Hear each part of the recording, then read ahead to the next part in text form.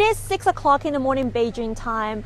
And uh, earlier today, just about five hours ago, uh, the Shenzhou 13 spaceship undocked from the core module of China's space station. And right now, we are going to set out to follow the search and rescue team at Dongfeng landing site into the Gobi Desert, where the three person crew is expected to land. I'm putting on my warm clothes because weather forecast says it's going to be windy today. Uh, but fortunately, they also added that the weather conditions still meet the requirements of the mission.